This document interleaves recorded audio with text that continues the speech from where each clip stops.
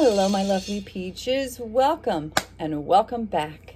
Today's video, I am going to be discussing Go F Yourself Karen Read trial day 16, which was yesterday, Wednesday, May 22nd, 2024. It is currently Thursday, May 23rd. It's 3.36 p.m. at the moment. I'm filming this Eastern Standard Time. What I'm really planning to do for this video is to screen record some of yesterday's testimony that I didn't capture in the video I posted um, today. So last night at like midnight to 2 a.m., I screen recorded some of Jen McCabe's final testimony, the third day for her, and then I screen recorded some of Kerry Roberts' testimony, but the video got long, it got super late, and I was like, okay, I have to leave it here. So I wanted to go back to finish talking about yesterday, Karen Read trial day 16, and I also wanted to screen record some more of Kerry Roberts' testimony as well as the Sullivan sisters, where they discussed an argument in Aruba, and there was some testimony. I talked about it yesterday, or I should say today. So if you want to go back and see the background of the Sullivan sisters and all that, then you can go watch yesterday's video. But in order to keep this not, you know, two hours, hopefully uh, which it might be because I don't know how long the testimony is. But then the defense did not cross-examine Kerry Roberts, so it, it was brief. And then the two sisters' testimony was pretty brief. And I'm planning not to capture the entire thing of what they testified to, but just the super relevant parts that I wanted to point out. So I may pop in and do some commentary in between or after. And I have a couple of notes that I wanted to point out that I wrote down when I was listening to the section of Kerry Roberts' testimony that I recorded. So I saw that one of the lawyers that I listened to had commented that they think it's weird that the judge Beverly Cannone frequently says, you know, take to take exhibits down. And she feels like uh, or that lawyer said they feel like maybe um, you know she doesn't want evidence up there. It's kind of like she's corrupt or whatever or biased. But then i noticed that today prosecutor Lally had a video up there and she said it to him do you want to keep it on the screen or take it down and he was like leave it up for now so i wanted to just point that out that she was doing it to the prosecutor too, so I felt like it's not necessarily a bias against the defense. And then also, Natalie, lawyer chick, had pointed out that she noticed that when there's an objection, so she was, she noticed and she said maybe when there's an objection, when the defense is objecting, she'll say sustained or overruled. But then when prosecutor Lally is objecting, Natalie observed that she thinks it might be that, and, and I did notice that Judge Cannone often will, instead of saying sustained, she'll say, he can have that, I'll let him have it, or she'll just directly say to the witness, can you answer that? And then instead of saying overruled, she'll just say, you know, move on. So she, Natalie was pointing out, it seems almost like it's a soft, a soft ruling for the prosecutor, you know, prosecutor, instead of saying overruled, she'll just be like, okay, let it go. So I was trying to notice if she, if the judge is doing that, you know, like, is it clear bias or is she just kind of doing it random? So I feel like it's, it wasn't so, so clear bias. It seems like it's kind of maybe a little bit random and she might do it a little bit on each side. So let's see. Then also somebody had pointed out that, and I think it might have been defense attorney Bob Motta, which I realized it's like, I was like, he seems so on the defense side. It's like, oh, well, he's a defense attorney. So of course he's going to more likely lean in that way of looking at things because that's his lifestyle, just like, or I mean, that's his, you know, that's his training. just like Emily D. Baker was a prosecutor, and I feel that often she looks at things more like from a prosecutor perspective, although in this case, I think she actually hates Prosecutor Lally. So, so she's not really, she's like, ah! All right, but so anyway, someone had pointed out that Jen testified that it was Karen who was insisting on they going back to 34 Fairview. Kerry testified that Jen and Karen wanted to go back to 34 Fairview. I'm reading. And then Prosecutor Lally said, um, was that something the witness was, the, the defendant was saying? And then she said that when they were when they were first on the phone, when Kerry was in her car and she was on the phone with them on Bluetooth so she could hear what they were saying, Jen and Karen in Karen's SUV, she said, Karen said, I left him at the waterfall, the bar and grill. And then Jen said, I saw you pull up at my sister's house. And so that's when they were like, we have to go back there. So I just wanted to point that out. Then also Kerry Roberts testified that John's phone was found underneath his back. He was laying on his back, face up, and that when they moved him, the EMTs, not her, when they moved his body, she saw that his phone had been underneath his back and that there was grass on the ground and that everything else was covered in snow, but underneath him and his phone was grass. So those were some of the things I wanted to point out. I also want to just mention that I play most of this on 1.25 speed. Some of it is 1.5 speed. There are a few clips where it's 1.75 speed, but that was like a little too fast. And then as I was screen recording it, there were a few times like I got some texts from various people, so I had to like cut that out and then go back a little. So there might be a few moments where it's like it feels like it went like it glitched back, and that's because I had to delete that little section and then go back. So if you see those little like boop boops, that's the reason for that. And now I'm going to go ahead and screen record the rest of her testimony that I think was relevant, and then the parts of the Sullivan sisters whose first names I need to remember. Okay, it was Laura and Marietta Sullivan. Those were, so Laura's the older sister, Sullivan, Marietta's the younger sister, and they testified about a trip to Aruba that they took with John O'Keefe and Karen Read yesterday. So I'm going to screen record just the super relevant parts of that testimony. Again, I am screen recording this from Law and Crime on YouTube. The whole entire testimony from yesterday is there. It's about over two hours if you want to go watch it in full. Okay, and now enjoy the video. Step outside.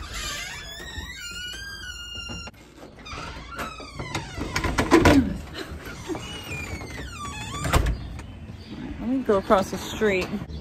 Dang, some motherfucker just made an illegal left and came out all unnecessarily aggressive. People are so, such dicks. Anyway, okay, so let me check my notes. Oh, so there was a part where in yesterday's video I said that Karen had paid for the dinner. She paid the bill and I thought that it was for the whole like 40, the group of 40. But actually Laura said it was it was for a different dinner. So there were still quite a few people there, not 40, maybe it was like six or something.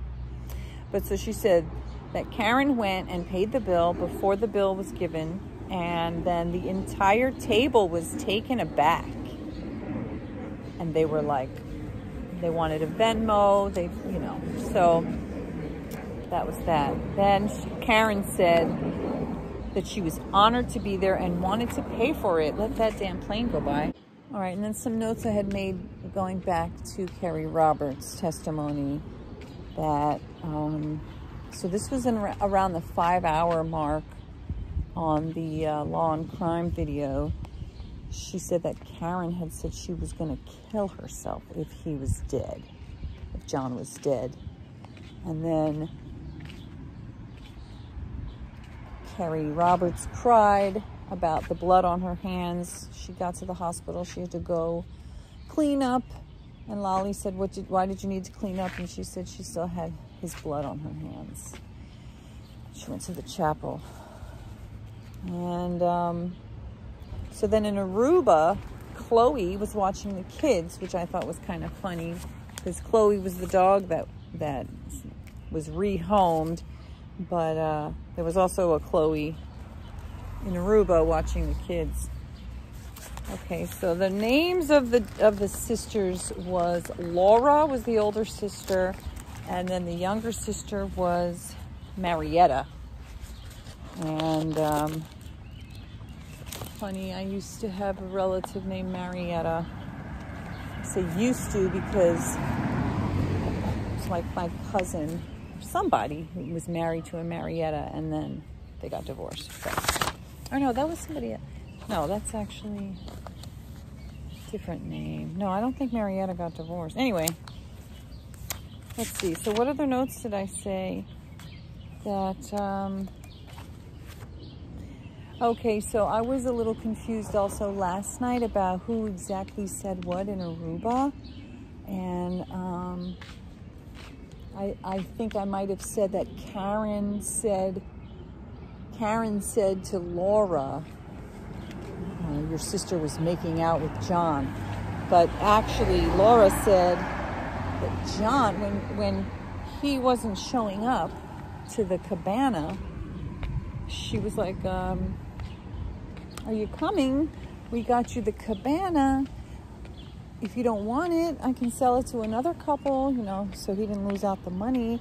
And then he was like, Who's all there? And uh, she said, Everybody. And then he texted, Apparently, I made out with your sister the other night. So that's when she asked her sister, Did you make out with John?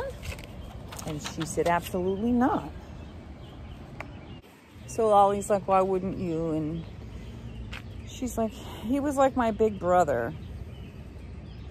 Okay, and then she also said that his name was screamed across the lobby very loudly. Oh, this is, uh, yeah, Marietta. John's name was screamed across the lobby very loudly, very angrily. And then she heard, Who the fuck was that? And then he said, Calm down, that's Laura's little sister. So then she went around the corner, saw, saw them, said, Hi, nice to meet you. Karen said, Go fuck yourself. And then she said, Yeah, fuck you too. And that Karen was waving her arms and was animated. So, those are the things I wanted to point out about yesterday's testimony. Does that mean that Karen did it? No. It does go to show possibly her character and the nature of their relationship and the nature of her potential jealousy.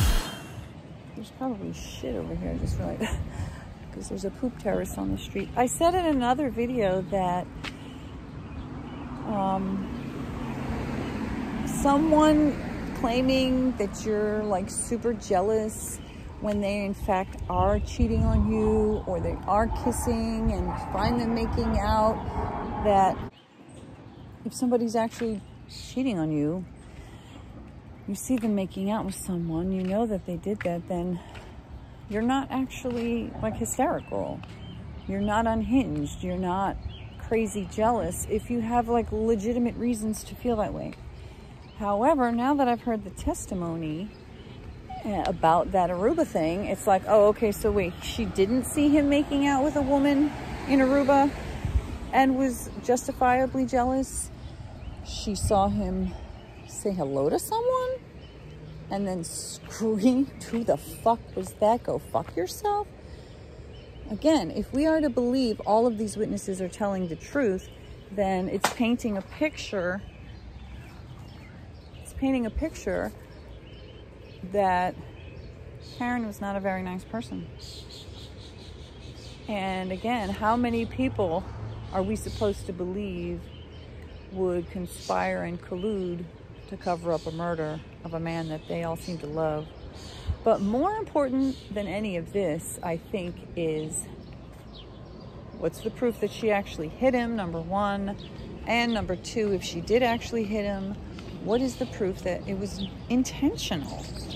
Like, what makes it second degree murder and not unintentional manslaughter? So, tomorrow there will be Friday, May 23rd, I think it is. And it's a full day of trial. As Judge Beverly Cannone said, a full day of trial tomorrow. So, I think Brian Higgins, one of the sergeants, will be testifying. And see you then. See you there. Bye. See you in the next one. got a 50% discount, so we would go periodically and get the kids' shoes.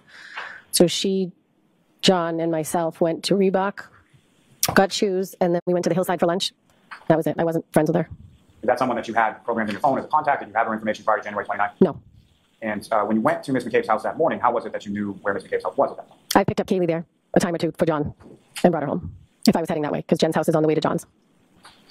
And so you go to Ms. McCabe's house, and you describe to the jury sort of what you observe or what you see when you're first coming up to Ms. McCabe?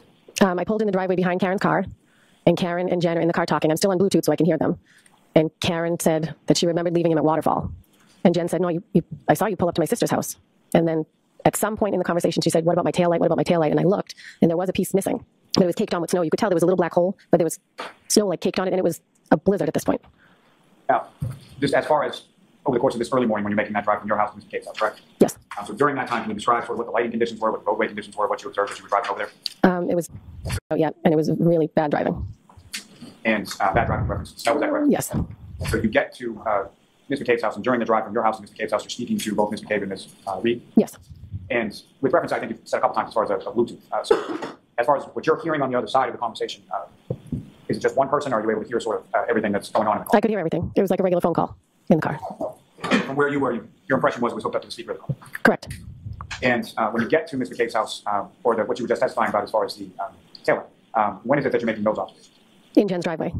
And so about how far away from the defendant's car were you the first time that you see or your attention is drawn to this, this? I was parked right behind them in the driveway. And can you describe which part of the vehicle we're looking at as far as which, which taillight that you're observing uh, this, this damage? The right passenger. And uh, so from there, as far as um, Ms. McCabe's driveway, you make these observations. Where is it that, that you go from there? Say it again. So after you're making those observations and you're overhearing that conversation or you're having that conversation with Bluetooth, um, where, where did the three of you go? We went to Meadows to John's house. And how was it that each of you sort of got from Ms. McCabe's house to John's house on that? Jen drove Karen's car, and I followed behind in my car. Um, and when you arrived there, where, where did you go? Where did you park? Like, I pulled in. I think I pulled in right behind. She pulled her car sort of in front of the garage bays, and I pulled in the driveway behind her. and when you say she, do you know who was driving? Jen McCabe. Sorry. Driving in. Read's in front passenger seat. Correct. And you're driving your car behind. Correct. What kind of car uh, did, did you have? A Ford Explorer, Um, do you recall what color it was? dark gray. And as far as Ms. Read, uh, do you recall what kind of vehicle she had at that point? A Lexus SUV, Recall what color that was? black. Now, with respect to uh, Mr. O'Keefe, uh, do you recall what kind of uh, vehicle John O'Keefe had? He has a Traverse. And do you recall what color that was? It's like a beige green. Your Honor, with the court's permission, if I could ask uh, to publish what's been marked as exhibit number two. Okay.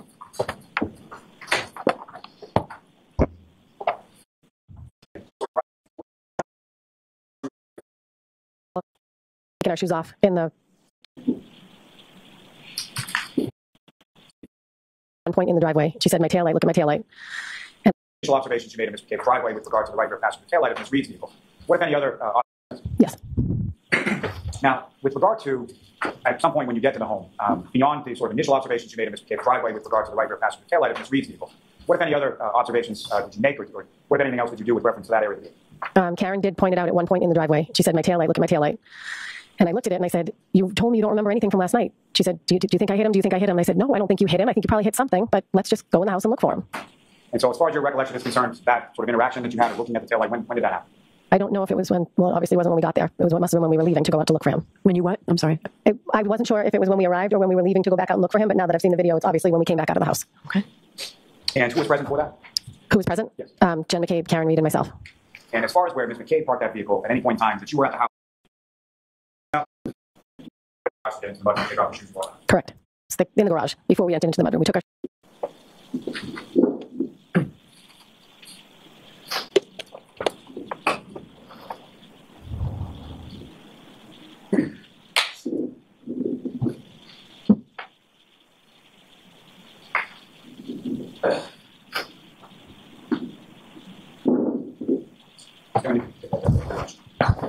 Now, Ms. Roberts, with reference to uh, the ring video security system that Mr. O'Keefe had at his home, um, if you know, do you know who had access to that? I do not. Now, with reference to those observations, or when you were looking at the rear passenger uh, taillight of area of, of Ms. Read's vehicle, how close to the vehicle were you when you were making those observations? Right in front of it. There was one piece, like a rectangle encapsulated, like whatever was broken. There was, I remember there was one piece of metal sort of sticking out. So if it was an encasement for a light of some sort, I remember looking at it and the piece was sort of sticking out and I thought, Looking at the rear passenger uh, taillight of, and as far as where Ms. McCabe parked that vehicle, at any point in time that you were at the house, did that vehicle move at all? And by that vehicle, I mean Ms. Read's vehicle. I don't think so. So where it's parked in that video is essentially where it stayed as far as you know. I believe so. Now, with reference to those observations, or when you were looking at the rear passenger uh, taillight of area of, of Ms. Read's vehicle, how close to the vehicle were you when you were making those observations? Right in front of it. There was one piece, like a rectangle encapsulated, like whatever was broken. There was, I remember there was one piece of metal sort of sticking out. So if it was an encasement for a light of some sort, I remember looking at it and the piece was sort of sticking out and I thought someone's going to catch their sleeve on that or something. And or something. Looking downstairs, I started looking on the other side of the couches to see if maybe he passed out somewhere. And then I went upstairs, and Karen was standing in John's room. The bed was made. She was just standing there. And Jen had gone in to talk to Kaylee. And then I said, "All right, let's let's go." As He's not in the house. far as He's not in the house. as far as your knowledge of, uh, of Mr. O'Keefe, um, him not coming home when any of, of the children were home, was that something that was normal? Him not coming home if the children were home. Yeah, he would not do that. And uh, obviously, you knew Kaylee was there, but uh, what, if anything, did you know as to where Patrick was? He was at a friend's house. And was that something that you knew independent of, of this morning, or what had transpired up to that point? Say that again. How did you find out that Patrick was, was at a friend's house? So, you know, Karen said, "I said, where's Patrick?" She said, "He's at his friend's." um, so you were in the downstairs area of the home, is that correct? Yes. Um, and looking through the rooms, you didn't find Mr. O'Keefe, correct? No. Now, at any point in time, did you go upstairs? I did. And when you went upstairs, where in the upstairs did you go? Um, at the top of the stairs is John's bedroom, so I looked in there. I looked in the bathroom. I looked in the closet. I looked in Patrick's room. I looked in the other two bedrooms, and Kaylee was in her room. So Jen was in there, but I was looking through the, just looking through the house.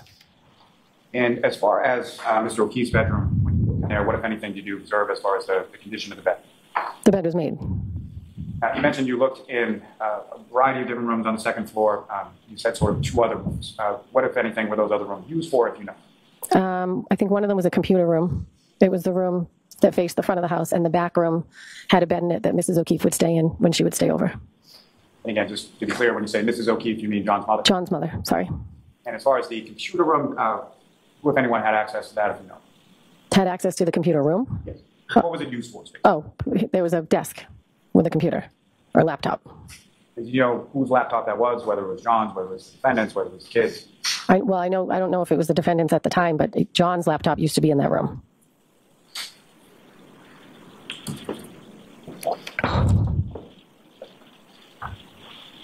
Um, Your Honor, with the court's permission, um, would ask if I could uh, publish just a couple more photos on the screen for Ms. uh, Roberts. Okay. Uh, Ms. Gilman, if I could start with Exhibit uh, 92.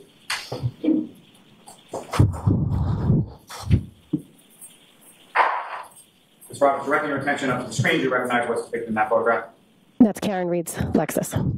And uh, specifically, if you could, uh, using the uh, laser pointer in front of you, direct the jury's attention to where you observed the image. Uh, that That's where that that's where the metal piece I was describing was. As far as what's depicted in this photograph up on the screen, is that consistent with what you observed in Mr. O'Keefe's driveway and Mr. Cape's driveway when you saw it that way? Well, caked in snow, but yes, So absent the snow, yes. yes, And uh, Ms. Gilman, if I could have uh, the next exhibit number 92. Again, Ms. Roberts, do you recognize what's depicted in this photograph? yes, Essentially a closer-up image of the same area, correct? yes, And what's depicted in this closer-up image, is that also consistent with what you observed in Ms. McCabe's driveway and Mr. O'Keefe's driveway that one? Yes. Now, Your Honor, with the court's uh, permission, I would ask uh, again if I could publish uh,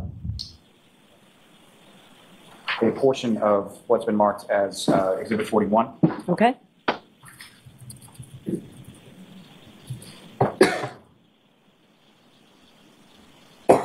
And Ms. Gilman, if I could ask you to uh, fast forward to about um, two hours, nine minutes, and 30 seconds.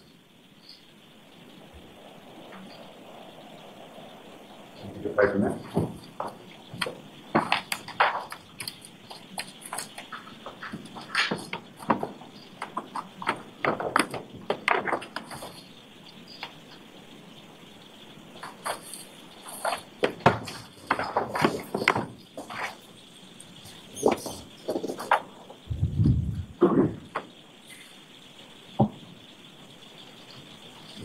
pause it there.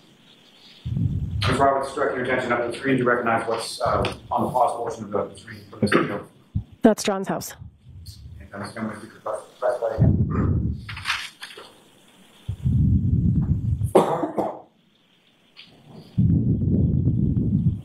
Ms. Gilman, if you could pause it. And again, Ms. Roberts, direct your attention up to the screen to recognize what's uh, sort of in front of, of the camera uh, in this particular portion of the video. That's Karen's car and John's car. And uh, where you observe Karen's car and John's car, again, if you could just uh, using laser pointer direct your attention to where you observe each of those in this, in this still frame here. That's Karen's car. That's John's car. Are those essentially the same positions uh, that you were talking about uh, that the jury saw earlier in the ring video from Mr. O'Keefe's house? Yes. Your Honor, may I approach? Yes.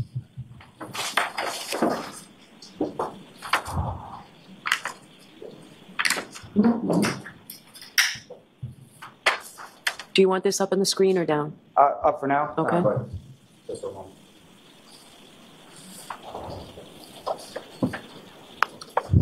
So I'm going to show you uh, just two photographs. Ask you to just look at those. when I'm.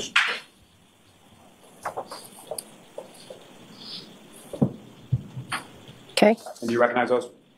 Or do you recognize what's depicted in them? Do I recognize what? What's depicted in each of those photos?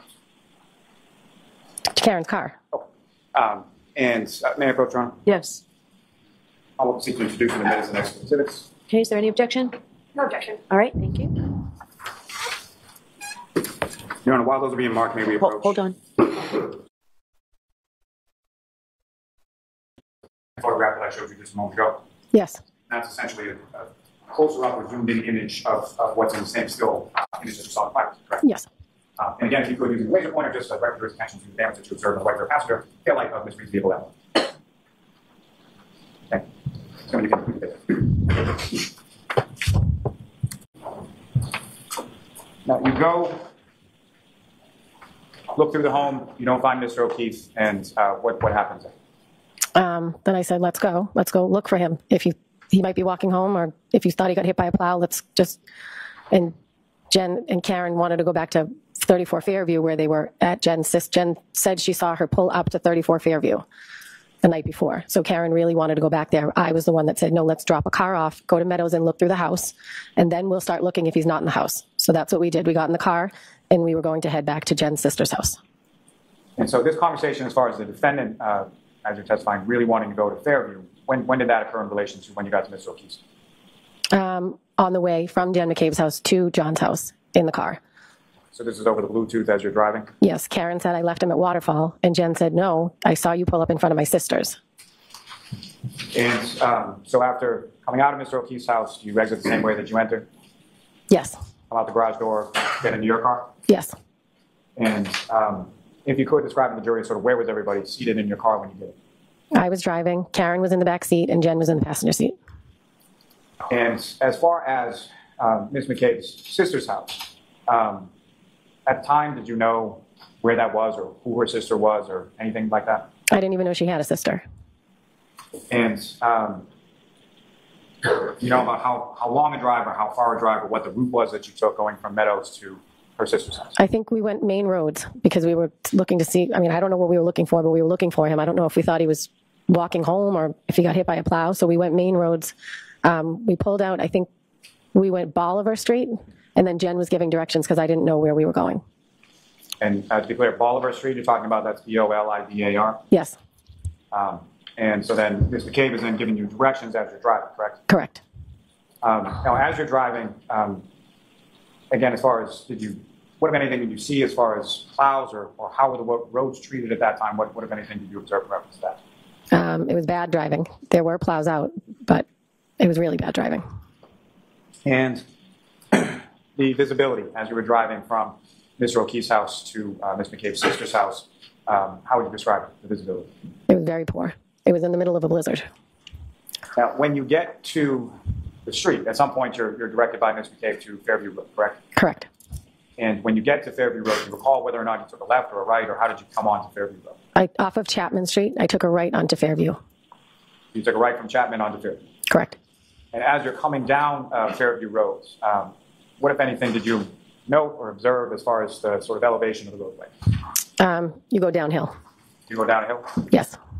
Um, this particular area of Canton, obviously you've, you've lived in Canton for several years. Are you somewhat familiar with this area of Canton? Yeah.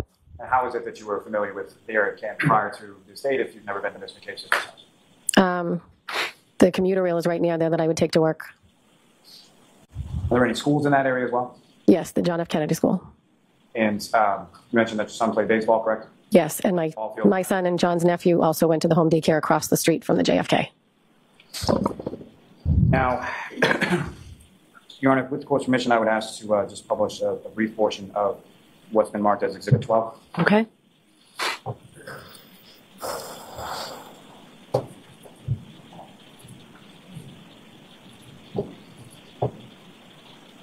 Gentlemen, what I'm going to ask is if you could uh, push this video forward to two minutes and 30 seconds.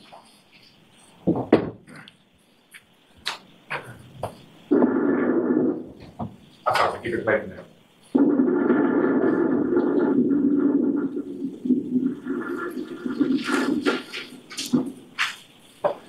I could ask him this. Mr. Roberts, from what you've seen on the video, uh, as far as uh, what's depicted in this video, is that a fair and accurate portrayal, consistent with what you observed that morning as you were driving around, going from uh, Mr. O'Keefe's house to uh, Mr. Cade's sister's house? Yes. And uh, the turn that this vehicle is taking at this point in the video, about two minutes and 40 seconds in, you recognize what street that vehicle is turning onto? I believe it's Fairview. Uh, Ms. Gilman, if you could.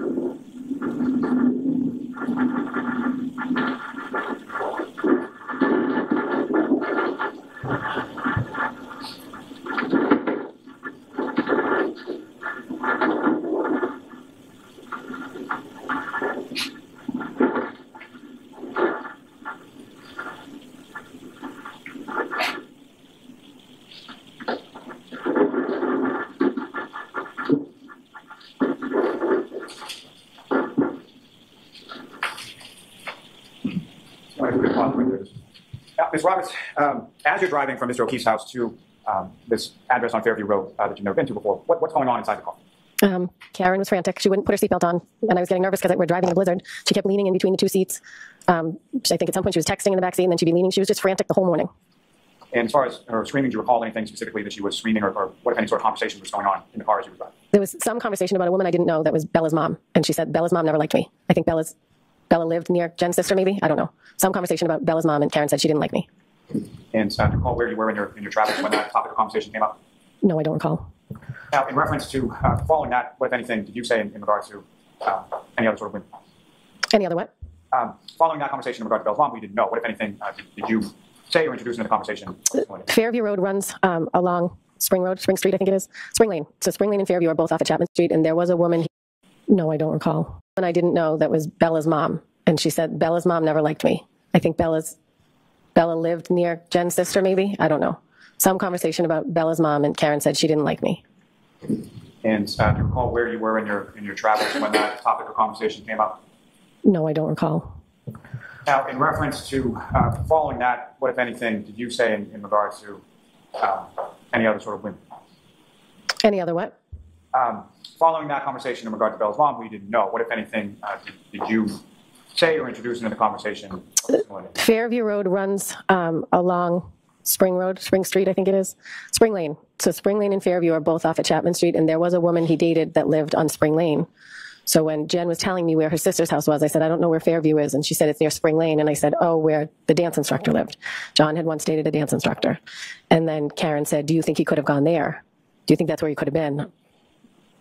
No, I was, I was just using it as a reference point. She said it's near Spring Lane. And I knew that the dance instructor lived on Spring Lane. And just to be clear, when you say the dance instructor, this would be for his, his niece, Kaylee? Correct. And uh, you indicated that the two of them, being Mr. O'Keefe and the dance instructor, had dated at some point in the past, right? Yes. Uh, how long ago was that? Oh, it was when Kaylee was little. She was probably like five. So almost 10 years before this date that you're driving away. Now, as you're driving along and driving down Fairview, uh, what is it that, that you're doing? What, if anything, do you observe Ms. McCabe doing? Then, what, if anything, do you observe the defendant? Well, we were looking for John walking or wherever he may be. So I'm driving and looking on both sides, and I think Jen was looking on both sides. And Karen was, she would be in the back seat, then she'd be in between us, then she'd be in the back seat, and then in between us. And uh, as you came down uh, the hill on Fairview, um, what, if anything, what happened then? Um, Jen said, My sister's house is right up here. And all of a sudden, Karen said, There he is, there he is.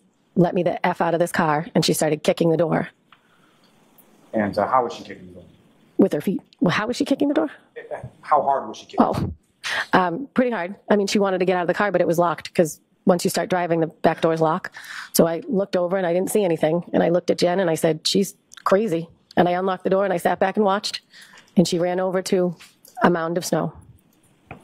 And so, as the time you're driving down the road, have you seen anything? As you're driving down, sort of looking at the side of the road, have you seen anything on your side of the vehicle? No, And when you say she gets out of the vehicle, is it your side or, or passenger side where Ms. McCabe is? That the driver's side.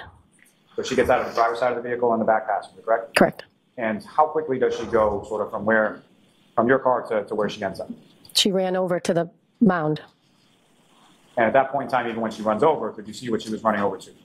At some point, I realized it was it was the shape of a body. And, and when was that that you realized? When in this sort of sequence were you able to realize that? That was in seconds. Once she ran over to his body, I said, "Oh my God!" And she lifted up his shirt and started to lay on him. And uh, when you stopped uh, to let her out, where were you in, in relation to that mound of snow or, or what you learned? I think my car was like in the middle of the road. I just stopped. And in relation to uh, where the mound of snow was, had you driven past it at that point? So where was it? Yes. So it was located behind your vehicle? Yeah. Um, and Ms. Gilman, if you could, I would ask just uh, let's play on that for about six minutes and 30 seconds.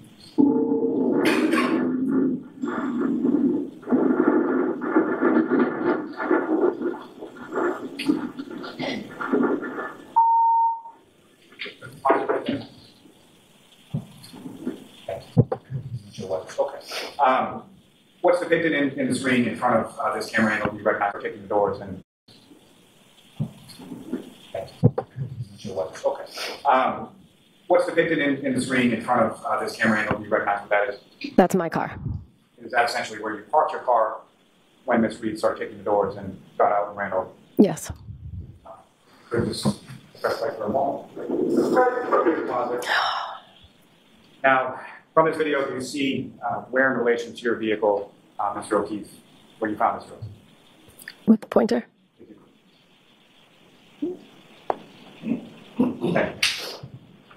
Uh, Ms. Gilman, if you could, uh, again, display for about this is happening.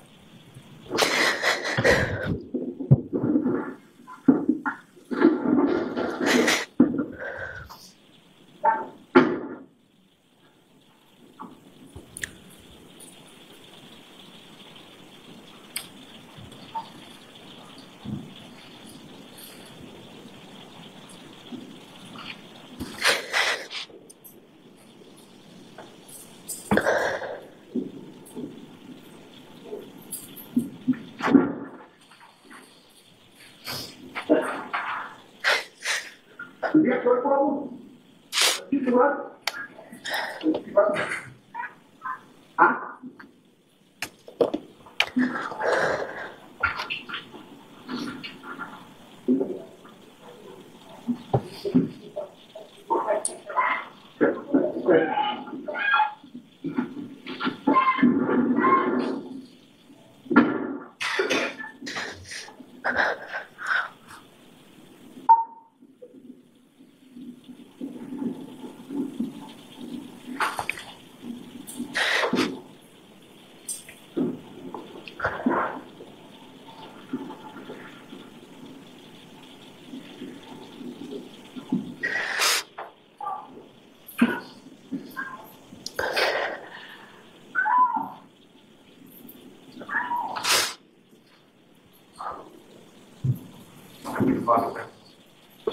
Individuals on screen again, they're just using laser pointer and attention to those arms.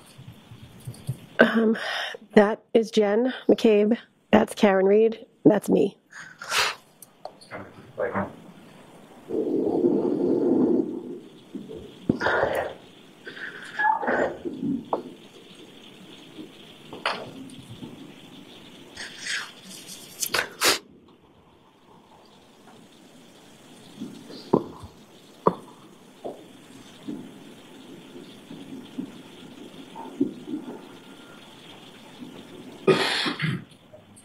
Take that down.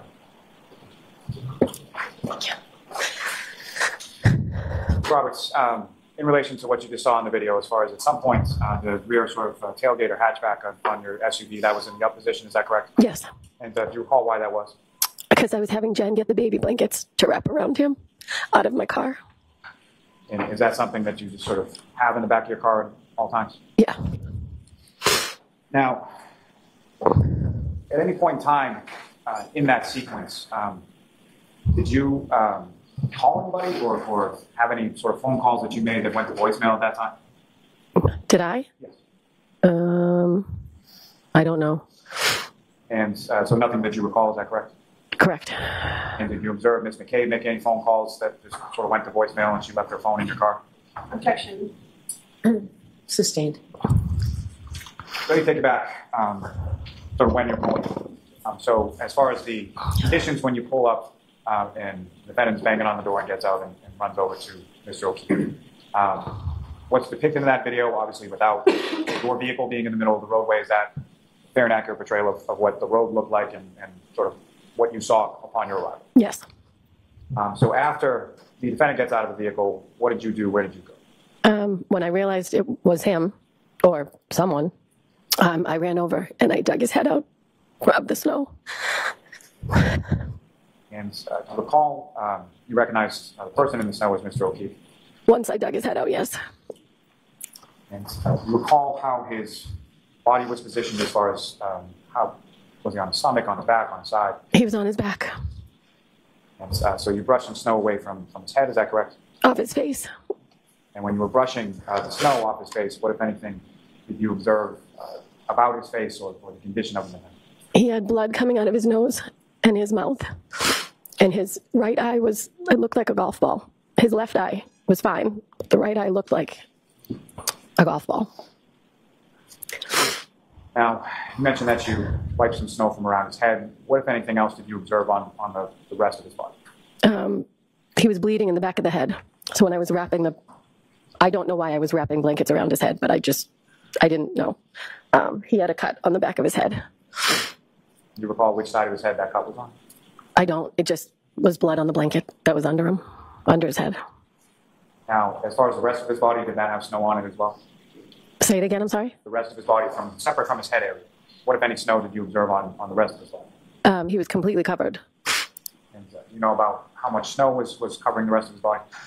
I would say like four inches, maybe three. I don't really, it was, I don't really remember exactly how many, but he was covered. And uh, so, with reference to Mr. O'Keefe, and when you arrived there, um, three of you being you, the defendant, and Ms. McCabe, um, what is it that, that you were doing when you first sort of, sort of come over to, to Mr. O'Keefe? Um, well, Karen was laying on top of him, and I told her to get off him because I was going to do CPR. And I said, Jen, you need to call 911. Um, and I started CPR on his chest compressions. And then Karen was giving him mouth to mouth. And as far as CPR goes, is that something that you had any training in prior to this? Yes. And, and can you tell the jury a little bit about that as far as what, what if any, training did you have as far as CPR? I get um, CPR certified every two years through the American Red Cross at work. Um, so you start doing chest compressions, is that right? Correct. And you direct Ms. McCabe to call 911? Yes. And what was the defendant doing that? She was doing mouth to mouth, and she was frantic again, running around. And As she was running around, what if anything else was she doing or saying while she was running around? um, did I hit him? Did I hit him? Is he dead? Is he dead? Is that something that she said once or more than once? More than once. And similar to sort of the, the tonality or the volume of the voice that you were describing before, was that consistent uh, when you're there, sort of in front of the house? Yes. Now, in relation to where you were with Mr. O'Keefe, uh, obviously you've never been in this house before, is that right? Correct. Um, what, if anything, did you observe as far as uh, overhead lights or street lights or anything like that around that area where you where you found Mr. O'Keefe? There was a fire hydrant, and there was some weird, like, electrical box thing sticking out of the ground. Uh, but you don't recall any sort of like overhead lights or anything like that? I don't recall. Now, um, this process of you sort of doing compressions um, and Ms. Read is doing mouth to mouth and, and then running around, is, is the, the mouth to mouth that she's doing, is that sort of consistent or is it intermittent between? When is the running around in relation to the mouth to mouth? Uh, I don't remember which was first. I was just doing. I was concentrating on doing chest compressions. And so while you're doing uh, the chest compressions, at some point, do uh, first responders start to arrive? Correct. And about how long was it from the time that you sort of get out of the vehicle, go over, realize it's Mr. O'Keefe, et cetera, and to when the first responders arrived? I I don't know. Wasn't long. Maybe under ten minutes. During that time, um, or during any amount of time that you were there, did you see anybody uh, from any of the houses on the street come out of the house or, or any, any neighbors come out or anything like that? No. Um, once, if you recall, uh, do you recall whether it was police or fire or ambulance or who, who showed up first?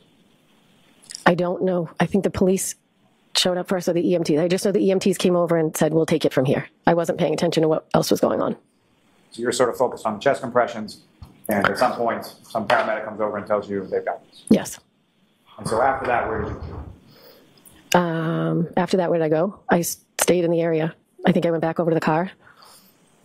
And um, as paramedics are working on John, um, you're by your vehicle, correct? I think so. And so where was, uh, what were you doing, and, and where was Ms. McCabe, and, and where was the defendant at that? Um, Karen was running around the body while the EMTs were trying to work on him. Fran- she was just frantic. And so you're over by the car, and Ms. Read is running around over where Mr. O'Keefe is. Yes. Where was Ms. McCabe? I don't know. She was somewhere around the car. So closer to you than to where Mr. O'Keefe was? I can't, I don't know. Now, where Mr. O'Keefe was, if you know, um, where was he in relation to, to the roadway or, or the, the paved sort of pathway of Fairview Road? I don't know because you couldn't tell which was the road and which was the grass. Like you couldn't tell which where the road began and ended. So I don't know. Now, you described the defendant sort of running around Mr. O'Keefe frantically. What, if anything, was she saying about that? Um, is he dead? Is he dead? Is he dead? And that sort of phraseology or the way she put that, was, was that consistent throughout? Is that how she stated it? Yes. And again, in that same sort of loud uh, volume voice at the time. Yes. Now, at some point, um, Mr. O'Keefe is taken from where he is uh, by the paramedics to an ambulance, correct? Yes. And as he's being taken off the ground, what, if anything, did you observe in that area? Um, his phone was under him, and it was grass. Now, as far as the grass that you observed, um, how was that in relation to sort of the rest of, of the area where Mr. O'Keefe was? Everything else had snow. So everything else is covered in snow, and when he's lifted off the ground underneath his body, is that where the grass is? Yes. And um, his phone was where in relation to his body? As far as when he's lifted up, what part of his body had been open? Uh, like his, maybe his shoulder, maybe it was like his back. So when they lifted him up, it was under where like his, whatever that, the right side of his back. And what I'm asking is basically sort of up towards the shoulder blade or down towards his lower back, if you In the middle? Um, and when you saw uh, the phone on the grass, what, if anything, did you do with, with Mr. O'Keefe's phone? I picked it up. I put it in my pocket. And at some point, one of the first responders asked if I had it. I handed it over. Do you recall who that first responder was? No, Do you recall even whether it was a police officer, a firefighter, or a paramedic? Or... no. Now, as Mr. O'Keefe is being taken from where he was located you found him to the ambulance, um, what, what happens then? What goes on from that? Um, at some point, Officer Good told Karen to calm down because she was frantic. Um, and at some point, they, Jen and Karen were in the back of a police cruiser to warm up. Um, I was standing outside watching the ambulance because I could see in through the ambulance that they were moving things and working on them. And so, what, if any, conversation did you have with the defendant or and or Ms. McCabe in reference to what you were seeing through the back of the ambulance? I said, they're working on him. They're working on him. And at one point, Karen grabbed the front of my jacket and screamed in my face and said, Are they working on him? Is he alive? And I said, They're working on him. They're working on him. They wouldn't be working on him if he was dead. And then um, she had us hold hands and pray. And then at some point, she had blood on her hands and she was, she told us she had her period. So I think she was just in a state of shock, maybe. And what, if anything, did either you or, or Ms. McCabe say to her when she said that? Um, we said, No, that's not your blood. That's John's. And um, what happened then? Then um, the ambulance drove away. And if you know about how long was it from the time that you were told by the paramedic to uh, sort of step away from Mr. O'Keefe, they had this, um, from that point to when the ambulance drove away? I don't know. It, I don't think it was long. I watched them work on whatever they were doing in the back of the ambulance, and they got in the ambulance and drove away. And um, after the ambulance left, uh, where did three of you go, or, or where did you go? Where did Ms. Read go? Where did Ms. Um, uh, Karen, I had her in my car. Jen was going up to the door to her sister's house, and the police. I said to the police, I had been on the phone. Now I called Mrs. O'Keefe. I called John's mother. I had called John's father. At some point, Karen was on the phone with John's sister-in-law, Erin, telling him John's dead. So I grabbed the phone from her. I said, "He's not dead. He's in the back of an ambulance. He's been in an accident." Um, and she said she was going to, that Paul was going to go, John's brother, um, to the hospital that they were bringing John to. So I spoke to Mr. I called Mr. O'Keefe. He didn't answer. Uh, next question. That, that'll stand. The next question. So you call Mr. O'Keefe and Mrs. O'Keefe John's parents. Correct. At some point, you have a conversation with them, correct? Correct. And do you know why it was that Miss McCabe was going into the house on, on Fairview? Objection. Do you know why? Do you know why? Um, to wake her sister, I think. And after those conversations, so you grab the phone from the defendant, you speak to Erin O'Keefe, correct? Yes. And following those conversations with members of the O'Keefe family, where is it that you were going from there? I asked Mrs. O'Keefe if she had four wheel drive, and she said no. And Mr. O'Keefe had a van that didn't have four wheel drive. So I said, I'm going to come get you, and I'll take you to the hospital. All right, so why don't we end this now for now? Okay.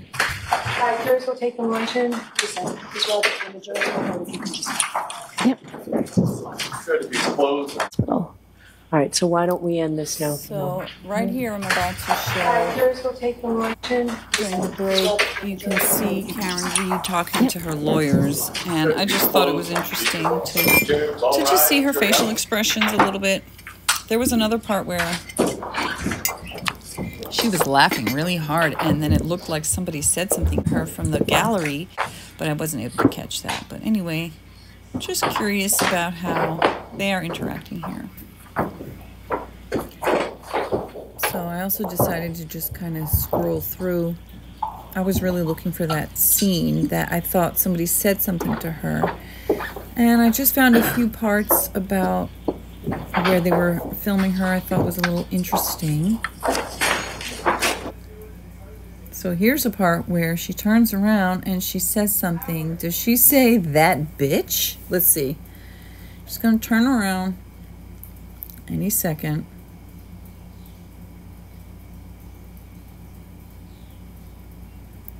What did she say? The person walks right by.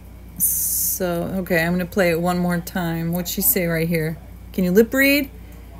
Okay, take a look. She's going to turn around in three, two, one. What'd she say? I don't know. I think it's interesting. Who's she talking to anyway? All right, and now the next scene here, there is a sidebar because there was an objection regarding some evidence or something that Marietta Sullivan is about to say, and the objection is overruled. So, look, you're going to see she's quite disappointed. Jurors, please be mindful Right of here. that second instruction that I gave you So? regarding um, evidence of statements No. made by John O'Keefe for the limited She's purpose of right there. establishing his I mean, I would be too. If the thing was going to come in. And I will fully give you this instruction again at the end of the case. So, but it's the same one that I already gave you. Go ahead, Mr. Lally. Ms. Sullivan, with regard to uh, the day. of the So I'm just uh, showing you a few of her facial with- with expressions, Laura in regard to Just because I haven't really done that at Yeah. all.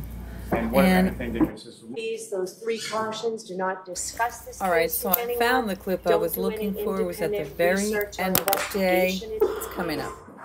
If you happen to see, hear, or read anything about the case, please disregard Okay, I it, let us found it know. right Just when leave court everything was here, ending. literally, figuratively. She's giving clear the your head last and see it. instructions and you very much. admonishments. And then I'm All right, yours going to show, they No span over to Karen Read, and we will see her facial expression. So Alan Jackson saying something to her, she's laughing, and then somebody else seems to say something to her, and she does like, so that, like, I don't know what is happening or what's being said, but then she's like, oh, so she makes that expression. So I just thought that that was kind of interesting. So as you'll see over here, you'll see John. O'Keefe's brother in that, that blue shirt right there, the bald man. And I zoom in. Okay, so they're laughing. I wonder what they're laughing about. This is the end of the day.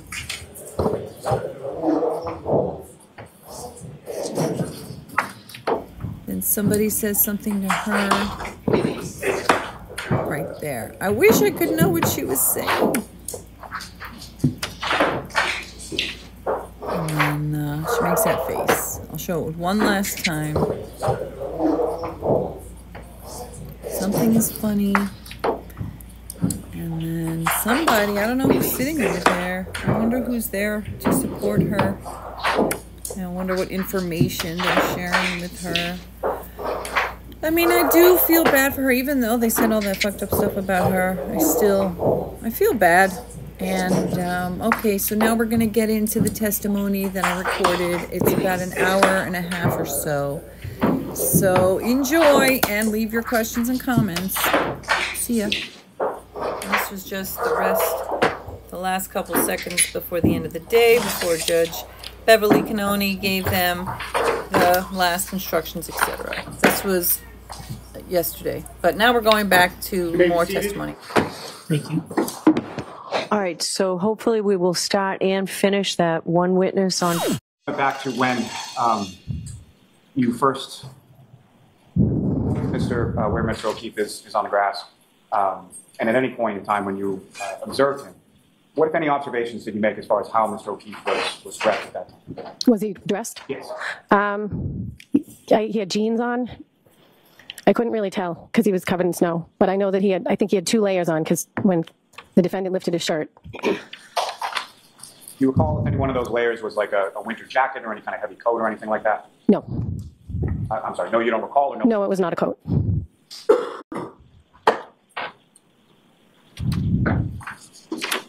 Now, take it back to when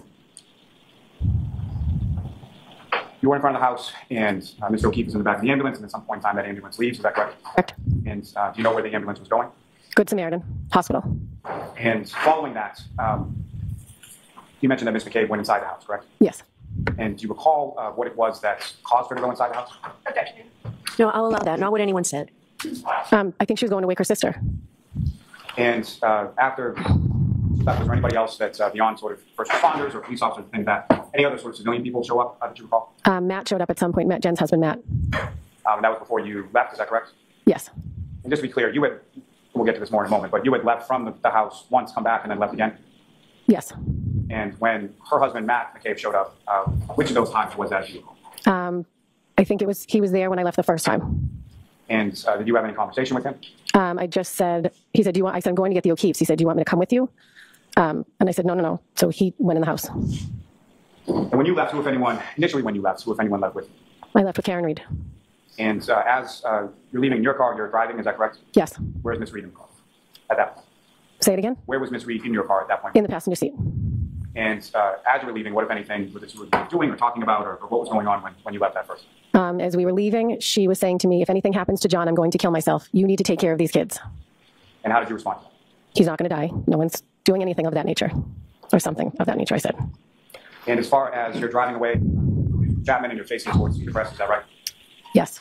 And so when you left, are you following in that sort of same direction towards Cedar Crest? I took a right onto Cedar Crest, And then where did you go from there? and then I got to Dedham Street, and I went to take a right. And then Officer Good, Officer Good let me go to pick up the O'Keefes to take them. I had to give him my phone number so that he could get in touch with me if he needed to.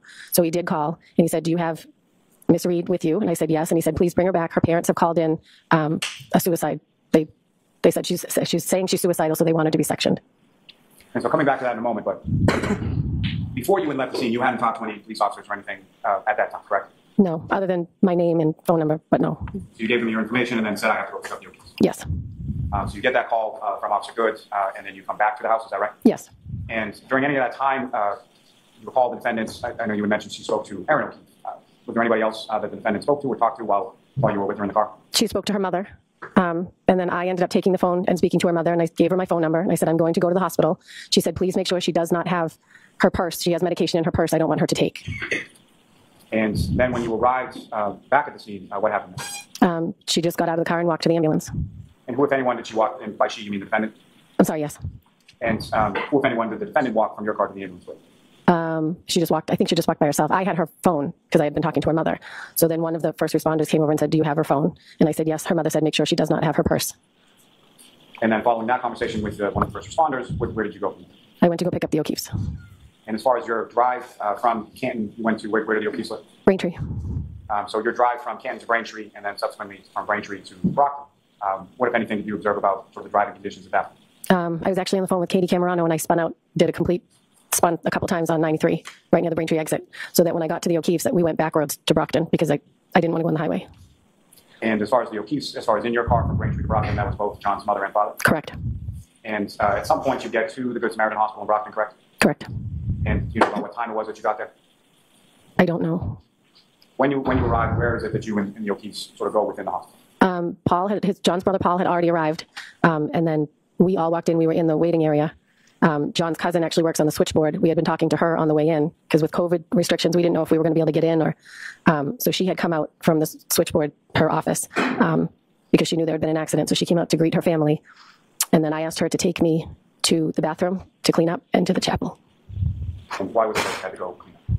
Say it again, Why was it that you had to go clean up? because I had blood on my hands. Now, um, Ms. Roberts, you mentioned that uh, during part of the drive uh, from Canton to Braintree, you spoke to Ms. Camerano, correct? Yes. And during either that drive or the subsequent drive from Braintree to Brockton, who, if anyone else, did you speak to over the phone? And Karen called me repeatedly from the ambulance asking if I was going to come to the hospital. And she called when the O'Keefes were in the car um, and said she dropped him off at a party. And Mrs. O'Keefe said, You just left him. And Mr. O'Keefe said, Leave her alone. She's been through enough. Um, she called a few times while we were on the ride. And then she called a lot when we were at the hospital asking if I knew anything, if he was dead, is he dead? She would hang up and then call back, hang up and then call back. And if you know about how many times? I, at least 10. And that same sort of phraseology that she was using on scene as far as is dead, she repeated that in the phone calls at the hospital. Yes. Now, um, once you arrive at the hospital and you're able to clean up a little bit, where did you go from there? What, what happened?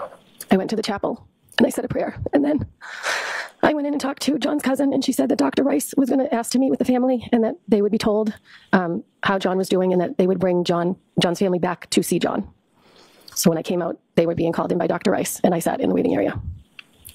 And uh, after some period of time sitting in the waiting area, what, what happened then? Um, Mrs. O'Keefe came out and told me John was gone.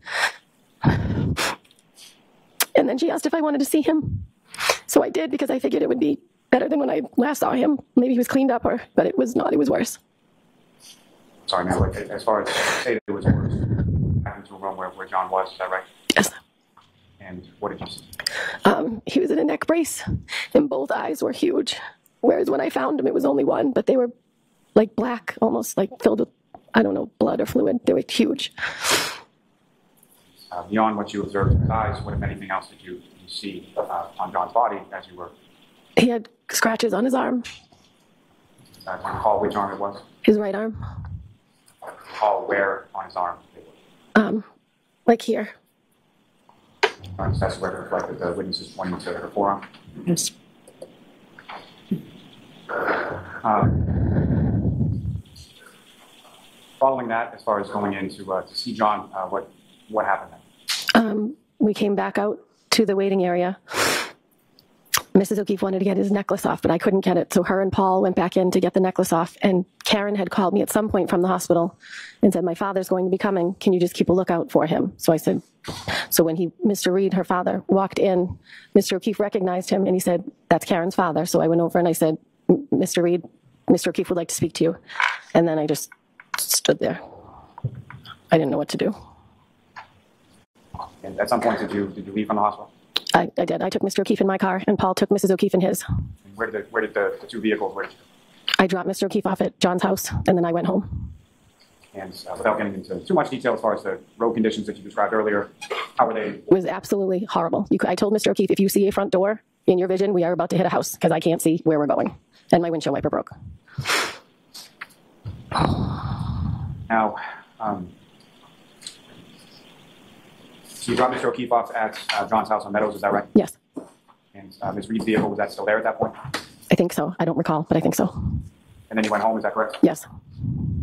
Later on uh, that day or that afternoon, um, if anyone came to your house to, to speak to you in regard to what? There were two officers, but I don't remember their names. And do you recall which department they were from? The state police. Um, as far as the officers that came, following that conversation, um, when was the next time, if at all, that you had any conversations with Mr. O'Keefe and or Ms. Read in regard to the So during that conversation, um, Mr. O'Keefe, Ms. Read, the defendant, and uh, his niece and nephew Patrick and Taylor? correct, yes. And uh, if you know, in relation to your son, um, as far as uh, his, Mr. O'Keefe's nephew Patrick, uh, where are they in relation to as ages? Uh, they're like three three years apart.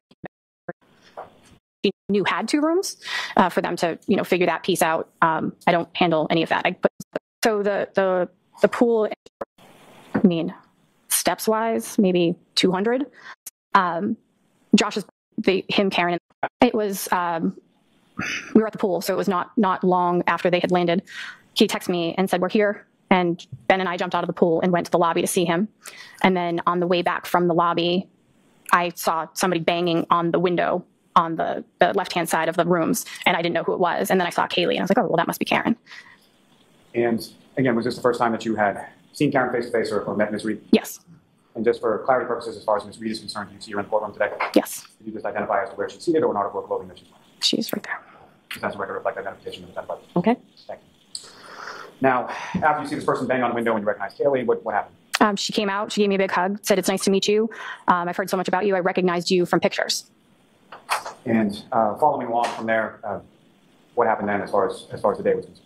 Uh, so as I mentioned, it was Josh's birthday. We had already made uh, plans to go out for dinner. Our friends who had been there since Christmas have a 17-year-old daughter who um, watched our children, so we could go out for dinner. I mentioned it to John. I said, you know, we'll just add you to the reservation. You can join us for dinner. Um, the kids can stay with Chloe. And they said absolutely. So we we all went out for dinner that evening um, to Screaming Eagle. And Eagle, where is that in relation to the, to the hotel, the rents? It's probably about a 15-ish minute cab ride. And when you arrived there, can, what, if anything, do you recall about sort of the dinner or, or how it went? So um, we were sitting outside on the patio. Um, it was um, Karen, myself, our friend Laura. Across from Laura was her husband Dave. Josh was in front of me, and John was in front of Karen. And um, what, if anything, specific you recall about dinner or sort of how, what happened at, at dinner? So we, um, the the waiter came over. He ordered. He started taking drink orders. Karen placed her order. I placed mine. Laura pra- placed hers. Dave placed his, and then Josh ordered a dirty martini with blue cheese stuffed olives. I'll- I'll allow it. I, I don't know where it's going, and you can move to strike if it, unless you wanted to see me, Mr. Yannetti. Okay.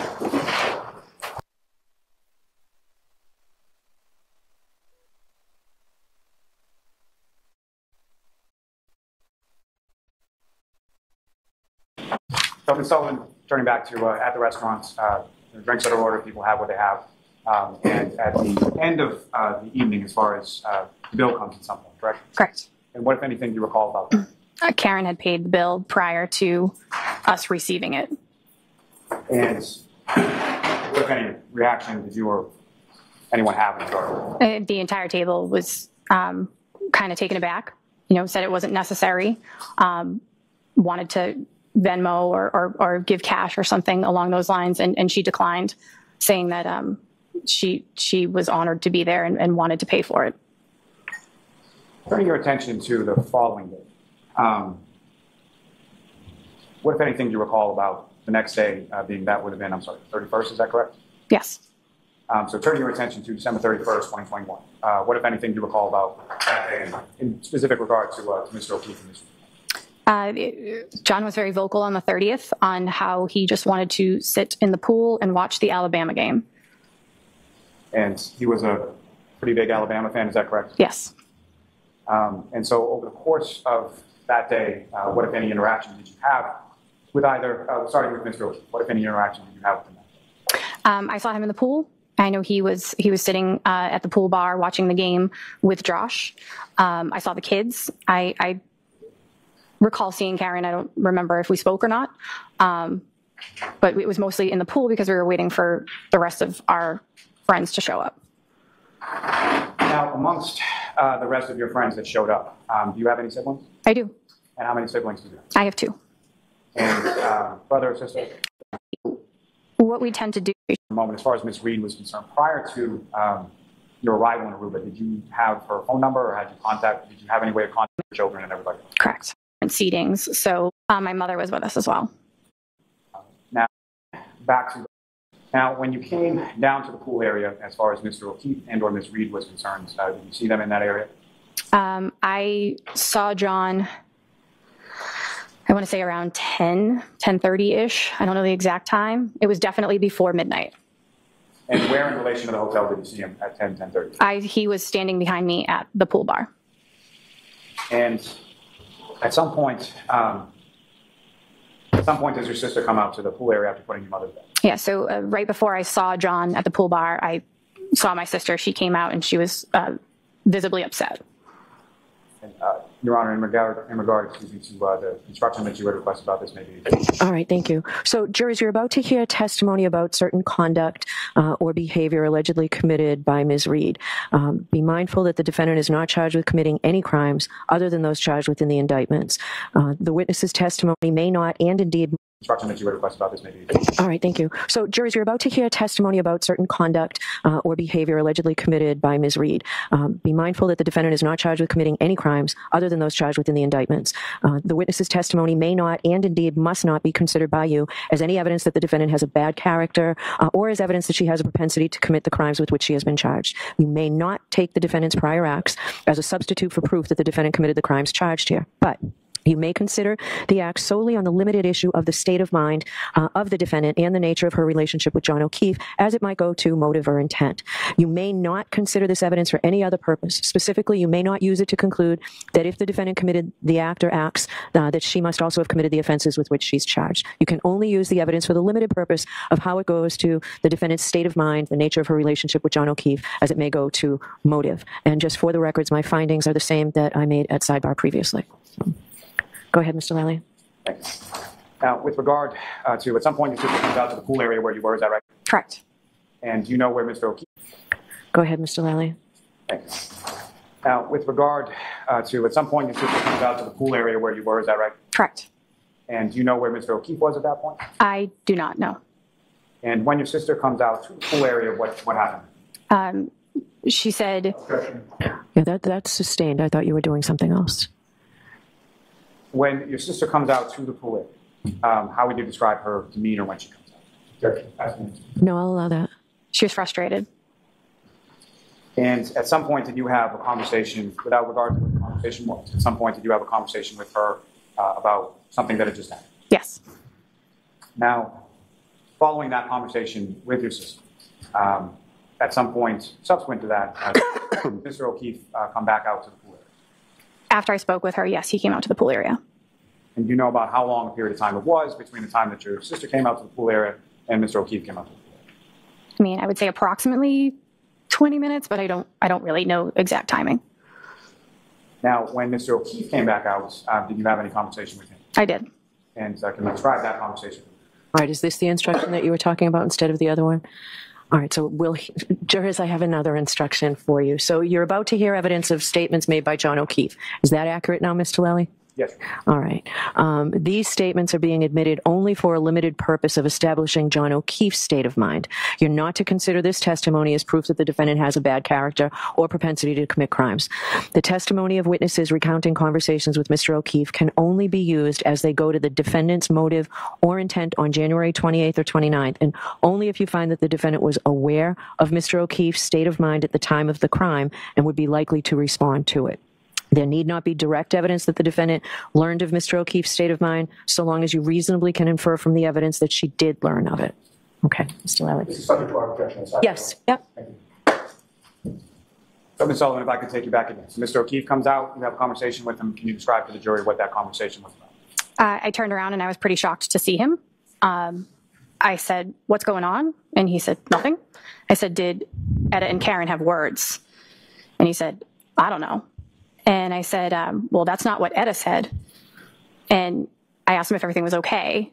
And at that time, his um, his phone was lighting up, and it was it looked like call, texts, calls, and texts. And hey, and at that time, his um, his phone was lighting up, and it was it looked like call, texts, calls, and texts. And it said Karen on his phone. After you make that observation, what did you say to John? I asked him if he needed to take it, and uh, he said, "Yes, she's crazy. I got to take care of this." And was that the last time that you saw him on New Year's Eve? It is. Now, turning your attention to the following day, New Year's Day, uh, did you see either Mr. O'Keefe or Ms. Read at all on that day? I did not. I saw the children, um, but, I, but we didn't see them that day. No. Now, turning your attention to the following day, being January 2nd, what was sort of the, the plan as far as um, what was going on that day? Our hotel has a private island. Um, the hotel we stay at has a private island, and we rented all eight of the cabanas between the, the 60 of us that were there. And when the cabanas went on sale, I had reached out to John and, and asked him if he wanted me to get him one. And he said, sure. So I booked one for him, and, and he paid me uh, for that cabana. So we all went out that morning. Um, and it was probably around, you know, 10 o'clock in the morning, and they weren't there yet. And so I, I sent him a text and I said, you know, are, are you coming or do you want me to sell this cabana? Because there was other, you know, couples there. At least he could have made, you know, the money back. And he asked me who was there. And I said, to everybody. Um, and I named off, I think I named off a couple names. I'm not really sure. But I said, everybody's here. And when you said that, how did Mr. O'Keefe respond? And he said, um, well, a- apparently I made out with your sister the other night, according to Karen. Now, is that the first time that you had heard that? Yes. So fair to say whatever you had heard from your sister on December 31st was not that. Objection. No, I'll allow that. Correct. And what was your reaction when Mr. O'Keefe told you this? Uh, Objection. I'll allow it. I was shocked. I immediately found my sister and said, Did you make out with John? Objection. Sustained. Now, when you went to talk to your sister, um, who was it that your sister was with when you went to talk to her about that? I'm not, I don't recall who was who was standing near her. Maybe my mom. I don't know. Uh, as far as your sister was concerned at that time, was she dating someone? Yes, The person that she was dating, was that person on the trip as well? he was. Yes. And was that person that she was dating that was on the trip as well? Were they at, you have, I don't know. uh, as far as your sister was concerned at that time, was she dating someone? Yes, The person that she was dating, was that person on the trip as well? he was. Yes. And was that person that she was dating that was on the trip as well? Were they at the Cabanas on that day that They were. Yes. Now, as far as um, you have some conversation in regard to your sister, and then at some point you go back and have further conversation with Mr. O'Keefe.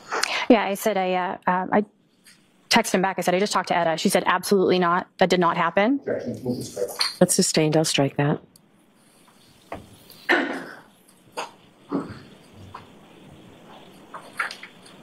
Now, at some point after that exchange, uh, did Mr. O'Keefe and or Ms. Read and or the kids come out uh, to the cabana area? They did. Yes.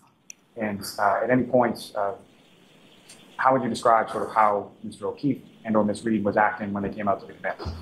Um, Karen immediately went in the water. I just recall her being like floating in the, the ocean for a, a good chunk of the day.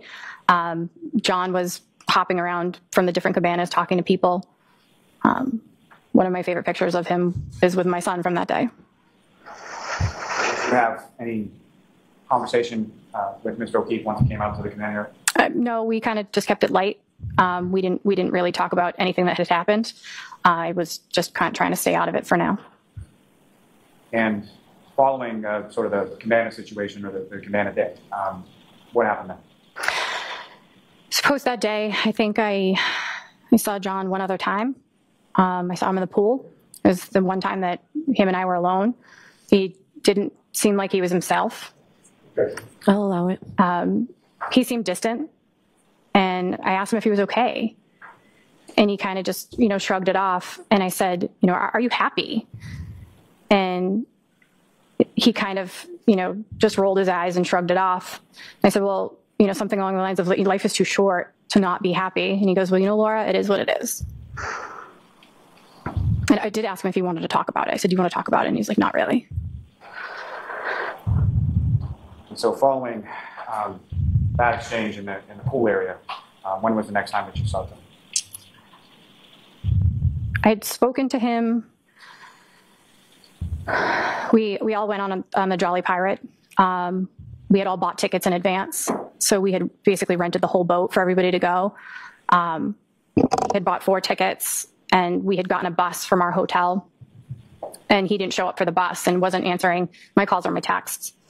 And then uh, we finally got down to where the, the boat was. The boat was about to leave, and he messaged me. He's like, "Not going to make it. Um, kids slept late." And so I didn't think anything of it. Then after that, I saw him and Karen uh, the, the night before they left, and they ended up leaving a day or two early so that the kids could get back to school. And when you saw them, where was that in relation to? the hotel? Right outside the hotel is a um, is a marketplace that has a, a bunch of restaurants and arcade. Uh, I was sitting at the five o'clock somewhere bar that looks into the arcade with um, my best friend Val, and my friends Dave and Laura and Karen and John walked up. What, if any, conversation did you have with either Mr. O'Keefe or the defendant at that time? uh, Karen grabbed me and, and she said, Hey, I'm, I'm sorry. I thought I saw something that I didn't, and I would like to pay for some of your sister's room. And how did you respond to that? I said, It's absolutely not necessary. Uh, just an apology will do. And did she persist in wanting to pay for the room? She did. And how so? Uh, She just said, I, I, I will apologize, but I, something along the lines of, you know, I, I want to pay for some of her room. Can I just have her room number? I don't remember if I gave her the room number or not. I don't really know. And with regard to that trip, um, when was the, when was the next time, or when was the last time that you saw? her? So, um, the the day that they were leaving, I saw him by the pool. He came up, he gave me a big hug. He said, "I love you. This was a great trip. Thank you so much." And I said, "Well, you're definitely in again for next year." And he said, "Absolutely." And that was the last time I physically saw him. And so that conversation, just turning back for a moment, as far as um, with regard to this read, um, you know what day that would have been, as far as in relation to when, when they were leaving, early January, 32nd? I want to say it was the fifth. I want to say it was January fifth. Now, after um, after Aruba, did you have any conversation with Mr. O'Keefe after that? I talked to him via text um, a couple times about a couple different things, but one of them was, um, as I mentioned, we start planning a year in advance, and I said rooms are coming available. Are you in? And he said, "Let me let me recover from this trip first.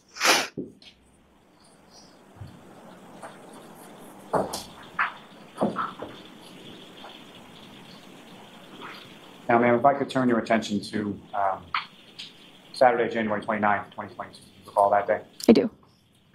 And um, at some point um, that morning or during that day, uh, did you get a call?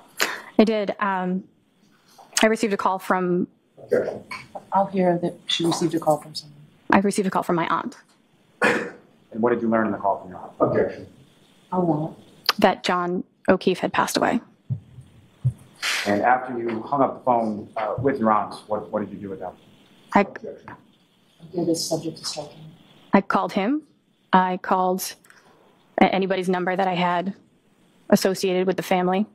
I ended up calling Kaylee. I texted Kaylee. I texted Karen.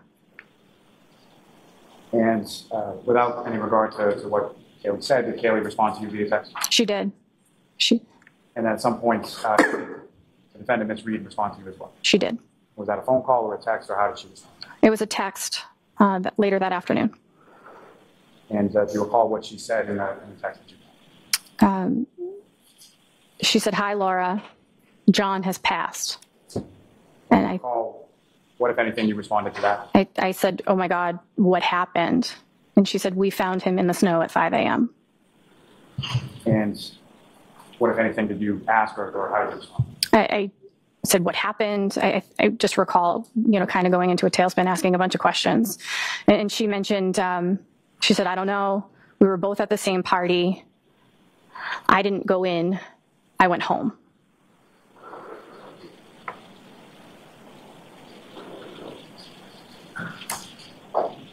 May I have a motion? Yes.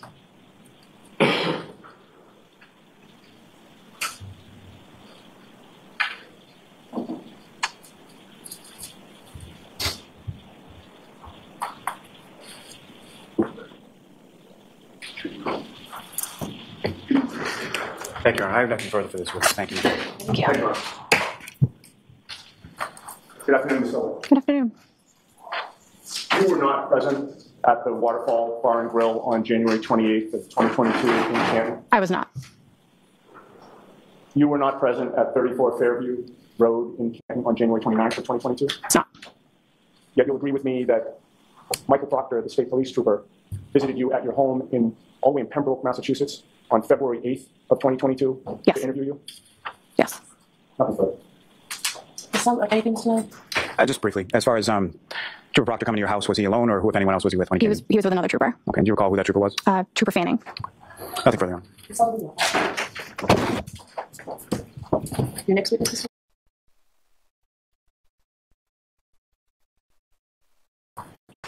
And uh, how long have you lived? Uh, since You ready?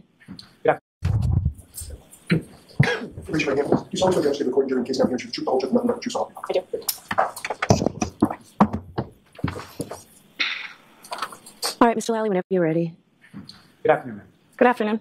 Could you uh, please state your name and spell your last name? Sure. My name is Marietta Sullivan. Uh, last name is S U L L I V A N. And uh, where do you live? Right now, I live in uh, Plymouth. And uh, how long have you lived? Uh, since July. And uh, do you recall sort of the time frame on, on that trip as far as when you were leaving, when you were coming? Yeah. Uh, so we left on uh, Friday the 31st, and we returned the next week, Friday the 7th. And when you say we, who is who is? My mother and I flew out together with another group of people to meet my uh, sister and brother-in-law down in Aruba. And uh, It was starting around 4:30, so we met everybody. at the pool. I ran into uh, Johnny, and are in that area the pool, yes, pool bar. and so when you get down to uh, the pool bar area, um, if anyone specifically, did you, did you see or did you run into? So first ran into my sister, gave her a hug. The rest of the kids and my brother. Um, as soon as I got into the pool, I ran into uh, Johnny and um, a couple of our other friends that were um, sitting at the pool bar down there. And with reference to uh, who you referred to as John, uh, what's his last name? John O'Keefe. And uh, that was someone that you knew at the time, is that correct? Yes. And how did you know this was? Um, he was a very, very dear family friend. He was very close to my sister. Subsequently, became very close to me and, and my family as a result. And he was um, my nephew's godfather. And um, fair to say that you had known him for some substantial period of time. Yeah, since um, Ben's father unfortunately passed away. Um, so at this point in time, when we're talking about turning from 2021 to 2022, how long had you known Mr. O'Keefe at that point? Oh man, um, probably about eight, nine years. It's as long as my nephew's been alive. And when is it that you would see, or how often would you see Mr. O'Keefe? Uh, family parties, any family party that we threw, kids' birthday parties, and um, my sister's Christmas party that she would throw every year.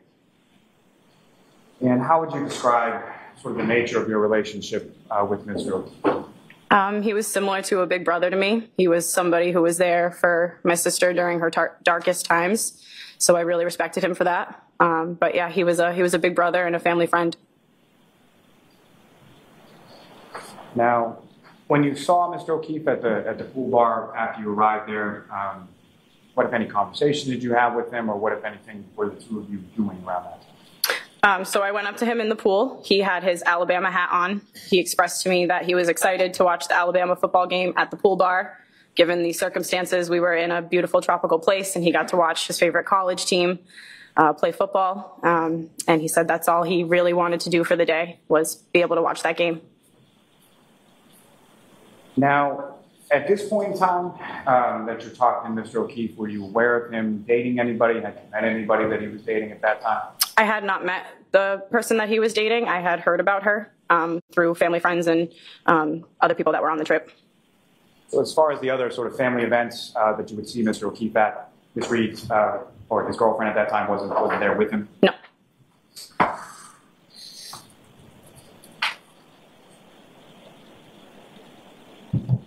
So, after um, the time that you spent at, at the pool bar that afternoon, um, do you recall what else you did that evening?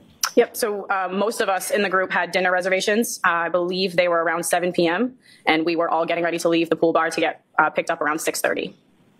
And as far as a fairly large group that went out to dinner that night, Yeah, most of us. and was Mr. O'Keefe part of that group that went out to dinner? He was not. Um, do you recall about what time it was that you got back to or returned to the hotel? W- most of us got back a little after nine. Taxis were kind of crazy to get, so a little after nine. And when you got back to the hotel, where did you go? Um, I went upstairs to check on my mom. She had gone in a bank of uh, taxis before me, so I went upstairs to make sure that she was uh, up there and safe and in the room. And so however long you spent up in the room with your mother, at some point did you come back? I did. And when you came back down, uh, by down, I mean, do you recall where you were staying in the hotel? Yep. So we were on the fourth floor of the hotel. So I took the elevator up and then I took it back down to the lobby. At that point um, in time, when you're getting back from dinner, going up to the room and coming back down, were you aware of where Mr. O'Keefe and, uh, and his niece and nephew were staying? I, yeah, I knew where they were staying. Yes, room wise. Yep. And where was that in relation to the lobby? Uh, first floor. Uh, so lobby's on the first floor, their rooms are on the first floor. Yes. Um, so when the elevator gets down to the uh, when the elevator gets down to the uh, lobby level, uh, you get out. Is that correct? Mm-hmm. And what if any? So you have to say, okay. you just have to answer yes. Yes. Sorry. That's okay.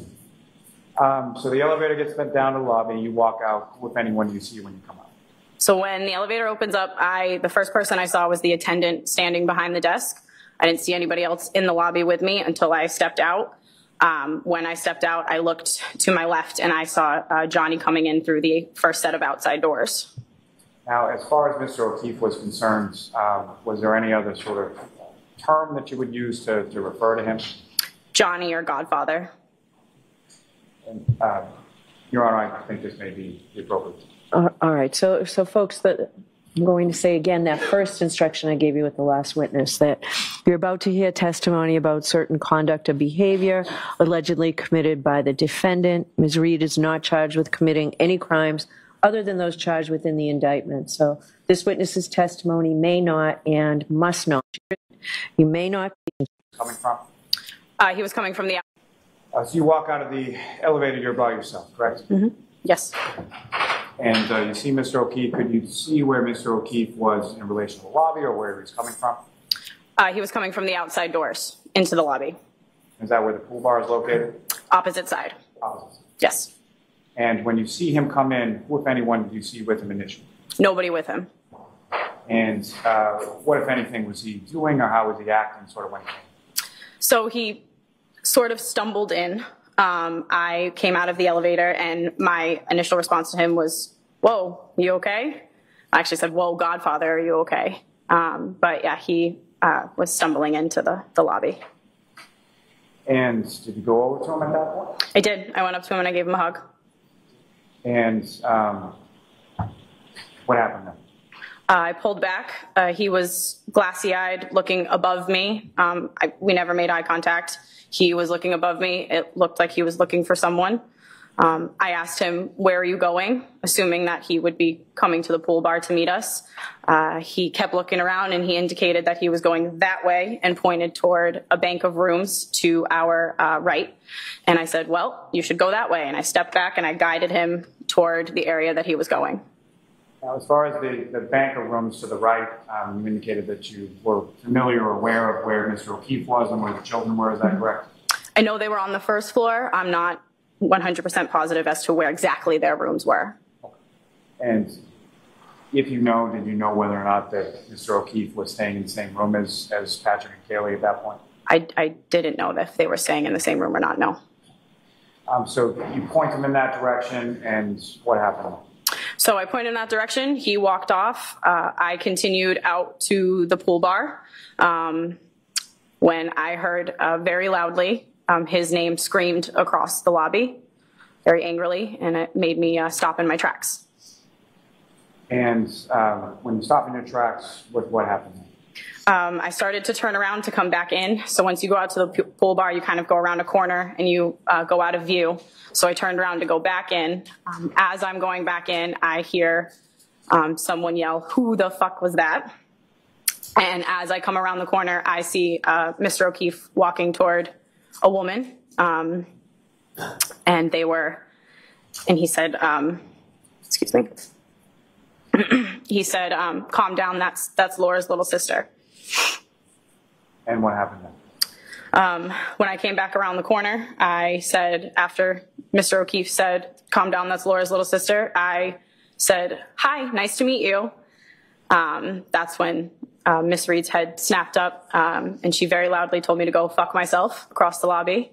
And I said, "Yeah, fuck you too," and walked away.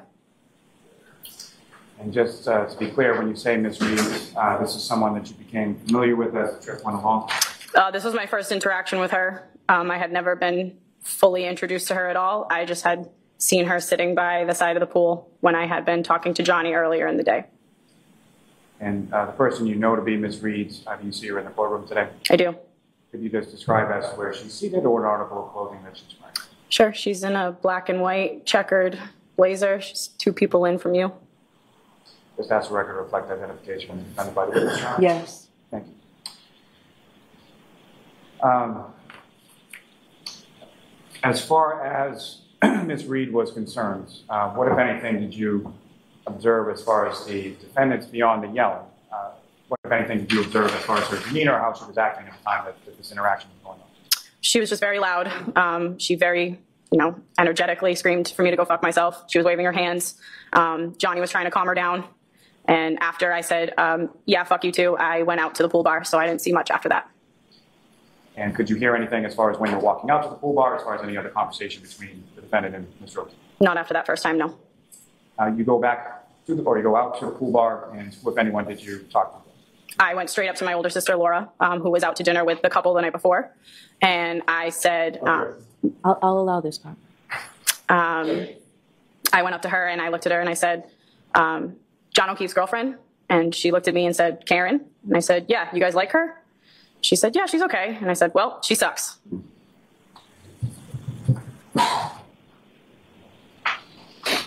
Now, following that, um, at any point in time later in that evening, did you see either Mr. O'Keefe or Ms. Read later on that evening?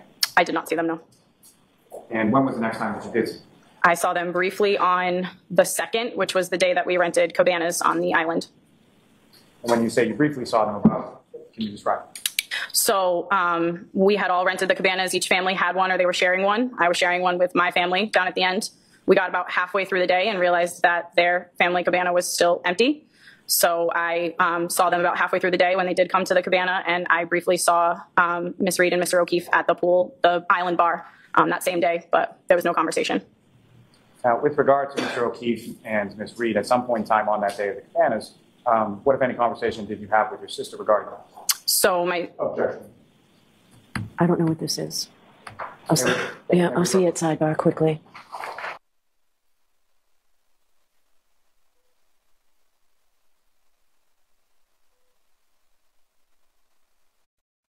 Correct.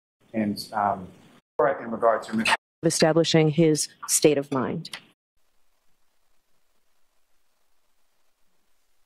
Jurors, please be mindful of that second instruction that I gave you regarding um, evidence of statements made by John O'Keefe for the limited purpose of establishing his state of mind.